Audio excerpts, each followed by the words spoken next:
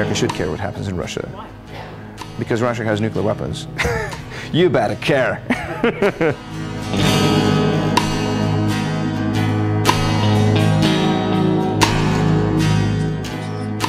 People do not have any sense of the impending danger. That is what worries me. How come you don't understand that you are dragging the world into a completely new direction?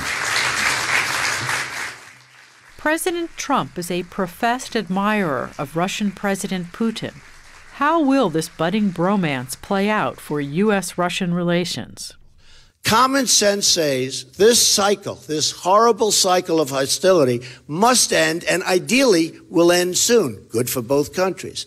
Some say the Russians won't be reasonable.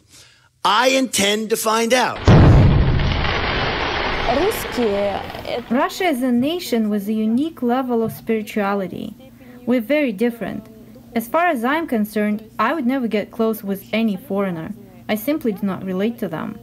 I talk to them, I can speak Spanish, French, and of course English, but I do not have any connection with them, something that I feel from my own countrymen. I think spiritually we're very different.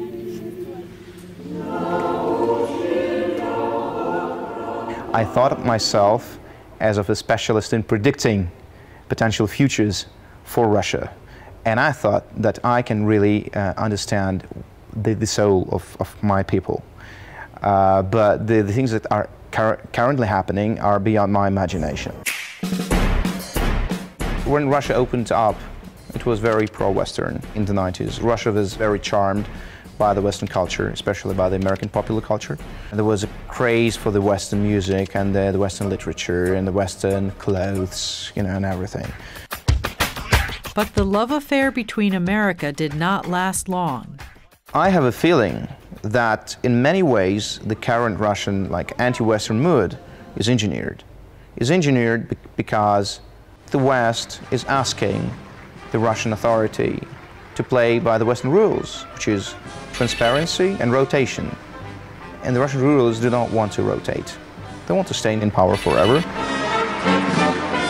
Putin is able to stay in power with the help of young people like Lisa, a 19 year old student at Moscow State University's elite school for foreign affairs. She is also a typical teenager who loves to eat, shop, and hang out with her friends. Her university is famous for educating the grown children of the Kremlin elite, and graduates can expect top positions in Putin's government. I believe that the surrounding world could not understand us for a long time. We were, I'm not afraid of this word, sort of backwards. And now we're building a new brand for our country. Such events as Sochi Olympic Games and political actions unifying Crimea with Russia are leading our country to the next level to become a well known brand.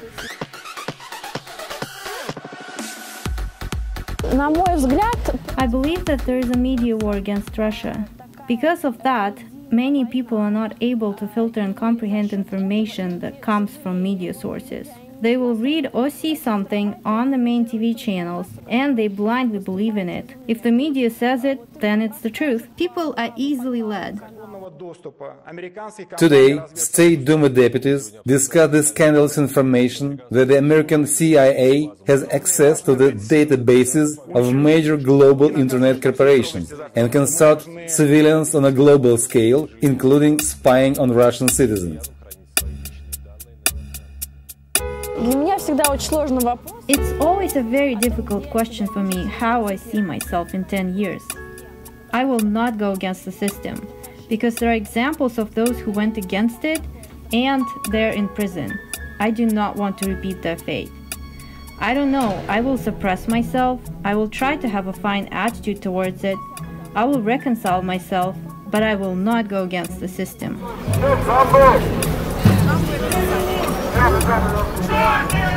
85% of Russians formally support Putin giving the Russian leader enormous power to impose new laws that threaten imprisonment for insulting the feelings of religious believers or for standing up for homosexual rights.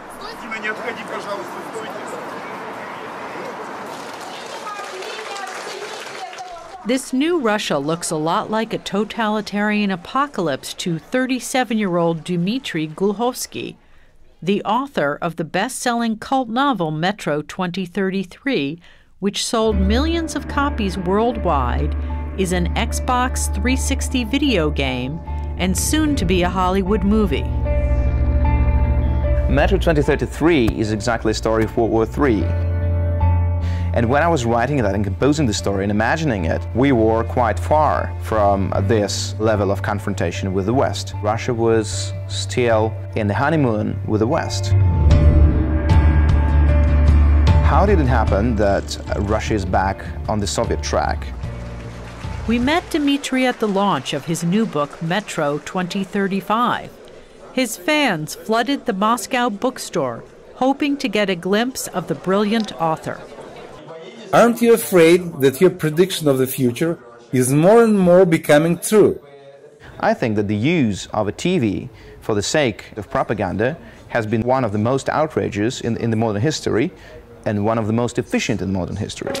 7 миллиардов ненавидят вас, американцев. 7 billion people hate you, Americans because you put your troops everywhere.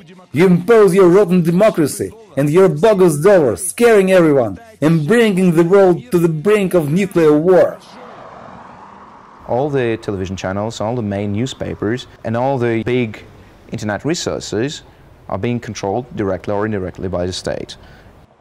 There are also a horde of these trolls who go to all imaginable websites, including the websites who take the, the liberal, you know, pro-Occidental, uh, you know, just independent position on the Facebook pages, on the VK.com, the Russian social network pages, and they just, you know, flood them with the, the pro-Putin comments. Opposition activists created a list of troll nicknames seen on multiple websites and attempts to access the page resulted in an error message from the Russian Ministry of Communications. Goebbels would admire it, not only me, you know, uh, and this is absolutely amazing. A good government can no more exist without propaganda than good propaganda without a good government.